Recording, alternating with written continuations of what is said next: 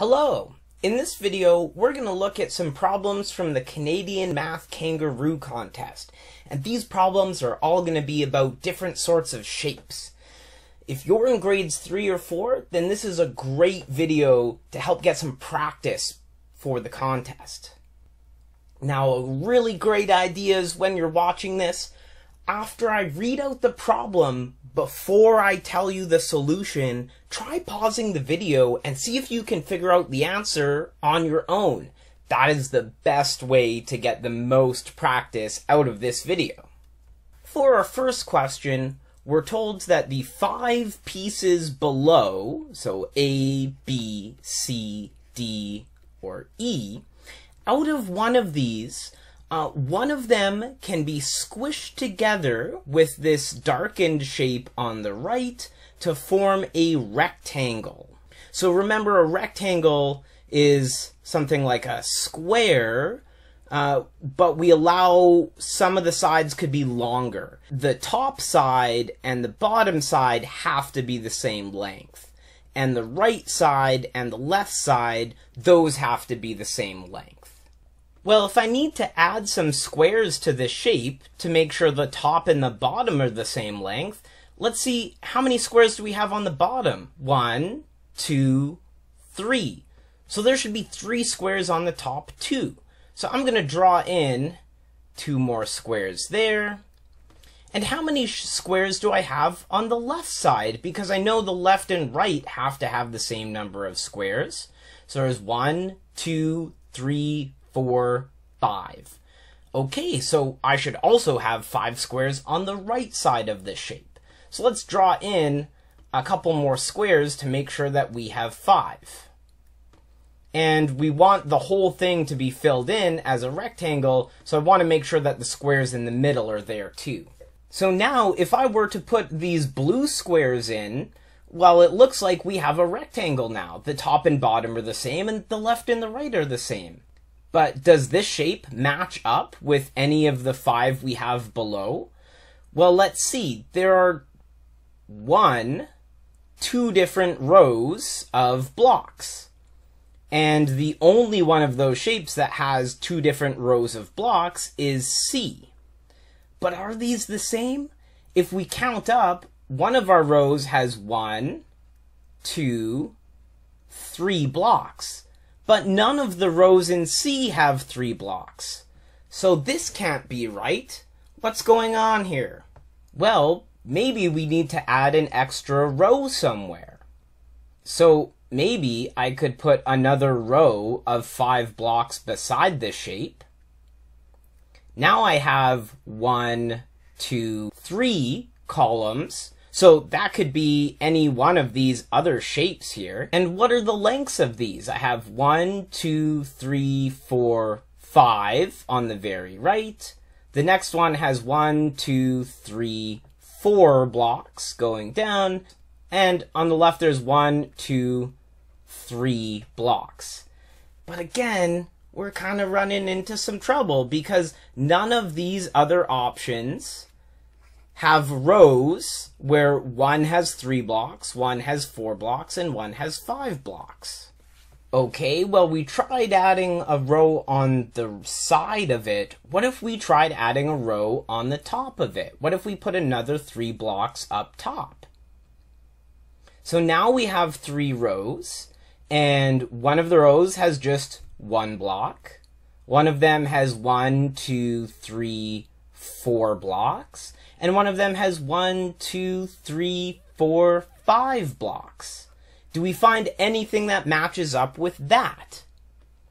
Well, look at B here. One of the rows has one block.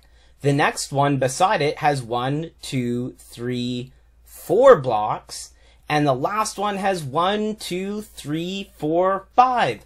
Awesome! This must be the missing piece. So our answer for this question is B. For our next question, we're told that Carol is playing with two equilateral triangular cards. So equilateral, this just means that all the sides of these triangles are equal. They have the same length. And we're told that Carol puts one of the cards beside or on top another part of the other, both on a piece of paper. She then draws on the paper around them, following the contour. So this word contour, that just means we're going along the outside of the shape. If you can see where my purple pen is moving right now, that is on the outside of the triangle, or sometimes we call it the contour. She cannot get only one of the shapes below. Which one is it? So what we're trying to do in this question is figure out which of these five shapes below, A, B, C, or D, or E, can we not get if we tried smushing the triangles together? Well, let's just go through all the shapes and see if we can make them all. So starting off with A, it sort of looks like we had two upside down triangles on top of each other. Let's use our the only tool we have here, our pencil, to make some drawings to help us think about this problem. If I took one triangle like this, and I place the other triangle like this underneath it, and when I fill them in, you can see that I get something that looks like A. So that one should be possible. If I make a line here, B looks like we just took two triangles and smushed them together on their bottoms. So it looks like B is a shape that we can also make it's pretty easy for C as well to see these two different triangle shapes. I could take one triangle like this and just place the next triangle on top. And then once I fill them in, you can see, yeah, I get something that looks like C. So, so far we've been able to make all of these triangles. D looks a little bit tricky, but we can also see that we have two triangle shapes here. Another way to see it is if I put one triangle here first, and then I put the other triangle over here, and I fill them in, it looks like I can make D. So what we've done, we've gone through the first four shapes, and we found that, yeah, we can make all of these shapes with the two triangles. So our answer has to be E. There's no other possibility. We got all the others. So E has to be the one that's impossible to get. So that is our answer. For our third question, we're told that two square patterns, X, so that's this square I'm underlining here with the purple, and Y, which is this other square I'm underlining with the purple, are made of black and white squares so that they complement each other. Now, what that means is that the squares in X are the opposite colors of the squares in Y. So if we look at this top left corner of X, that's all filled in black. But the top left corner of Y is the opposite. It's not filled in. Same thing if we look at the top right corner of X, we see that it's not filled in, but then in Y, it's the opposite. It is filled in. And this pattern continues for all of the squares in x and y. So the question says, if we look at these five squares below, A, B, C, D, and E, which of these in the answers is the complemented pattern of the pattern G? So that just means it follows the same rules between x and y. That means we're looking for the square that has all the opposite colors of G. So if I look at the top left square of G, that is not filled in. So I want to look at all the shapes that have the top left corner that is filled in because we're looking for the opposite square. Well, A's top left corner that's not filled in, so eh, we don't want that one. B's top left corner is filled in. Now we can't be sure this is our answer yet, but it might be. So let's move on and look at the others. It looks like C's top left corner is also filled in. Hmm, so our answer could be B or C. Let's keep checking the rest though. For D, we see its top left corner is not filled in. So, eh, we don't want to take that one. And for E, its top left corner is also filled in. And so, well, that might be our answer too. So we still can't really be sure, but at least we've narrowed down the choices. So instead of just looking at a single square, let's see if we look at this entire top piece. What's the pattern we have here? With G, the first square on the left is not filled in, the next square is not filled in, the third square is filled in, and the fourth square is not filled in. So the opposite of this would be the first square is filled in, and the second square is filled in. The third square is not filled in, and the fourth square is filled in. So out of B, C, and D, do any of these, do all of these have that same pattern? Well, if we look, yeah, B has the first two filled in, the third square is not, and the fourth square is. C and E also follow this same pattern. Hmm, so we're going to have to look a little harder to tell the difference between these. Let's move down to the second row of G. For the second row of G, the first two squares are filled in, and the second two squares are not filled in. So the opposite pattern of this should be that the first two squares are not filled in, and the second two squares are filled in. Let's look at our three shapes below to see if any of these have that same pattern. Well, in B, the first two squares are not filled in, and the second two squares are filled in. Well, that's exactly what we're looking for, so it still could maybe be B. But now, look at C. This first square is filled in, and that's a problem. That's not what we're looking for. So, eh, we can toss C out of here. Hopefully we can toss out E, but if we look, the first two squares are not filled in, and the next two squares are filled in. So, it looks like E is still possible, and we're still not sure if it's B or E. Now, maybe we could figure it out from the third row, but if we take a quick look at B and E for a second, we see that both B and E have the same third row. So we're not going to be able to tell them apart from that, but the bottom row of B is different from the bottom row of E. So if we figure out what the bottom row should look like, we should be able to figure out the answer. So finally, if we look at the bottom row of G, the first three squares are not filled in and only the last one is filled in. That means the opposite of this, the thing that we're looking for, is to have the first three squares all being filled in and only the last square is not filled in. And so finally we see that that's just not happening in B our answer has to be E. It has exactly what we're looking for.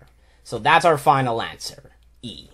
For the fourth question, we're asked which figure is impossible, that means we can't make it, which figure is impossible to make with these two domino pieces. So we need to use these two domino pieces on the right.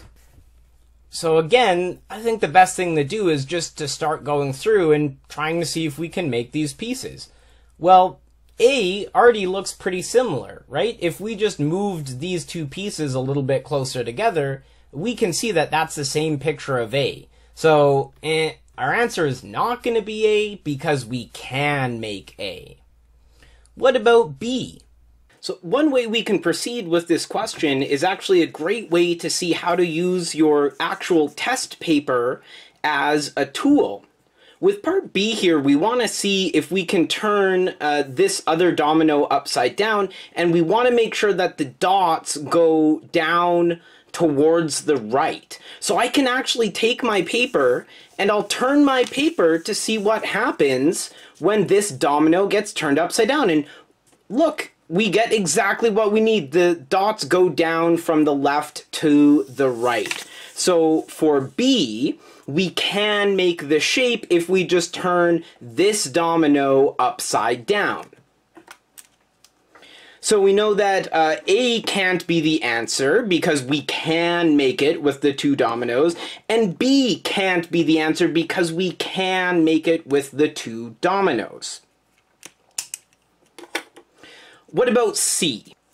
Well, we have these two ones on top of each other, so we're going to have to turn one of the dominoes sideways. So now one of our questions is, well, if I take this domino here with the twos, and I turn it sideways so the one is on the left, does it look like this? Is it going up to the right? And again, let's actually turn our paper. So if we turn our paper, and uh, we see that, yeah, we can match it up. It's going up and to the right. Uh, now, what about the bottom row? We need the 1 and the 3 going up and to the right. So if we look over here, what happens when we actually turn our paper? Yeah, I get the 1 and the 3 going up to the right. So we can definitely make C as well, so that can't possibly be our answer. Uh, what about D? Now the dot is on the other side, uh, so I could try turning it uh, the other direction, and let's see if the dots, the two dots, go up and to the right. So if I turn this one over, yep, that's exactly what we need. Okay, but what about the bottom row? Well, we've already seen from the way that we saw that we could put C together uh, that we can make those dominoes line up. So definitely we can make D, and that means uh, that our final answer must be E, because we were able to make all the other dominoes A, B, C, and D. For our final question, we're told that Kanga wants to renovate the floor of her kitchen. She only has the type of sh tile shown on the right, so that's this tile I'm circling over here. Hence, she cannot arrange one of the patterns below. Which one? So again, we're trying to figure out which one of these patterns we can't make by using a combination of these tiles and sticking them next to each other. Now we could go through and just try all of these patterns one by one, like we did in some of the previous questions, and that definitely will help us get to the right answer, but this one has a little trick to it that if you pay close attention to the shapes, we can actually solve it pretty quickly. Notice that this tile we're supposed to use, the line goes from one corner to another corner the line does not bump into any sides. It's only the corners of the sides. And if you notice, in D, this is a problem because the lines in the middle of each of these squares, these are bumping just into the sides. They're not actually hitting any of the corners. And so we can actually see right away in this one that D is our answer. We can't make this because we're only using the tile on the right uh, which looks different from all of the tiles being used in D. So that's all for today's video. Thank you so much for sticking around and trying out all the problems. If you have any questions, comments, concerns, you can visit mathkangaroo.ca or send an email to info at mathkangaroocanada.com.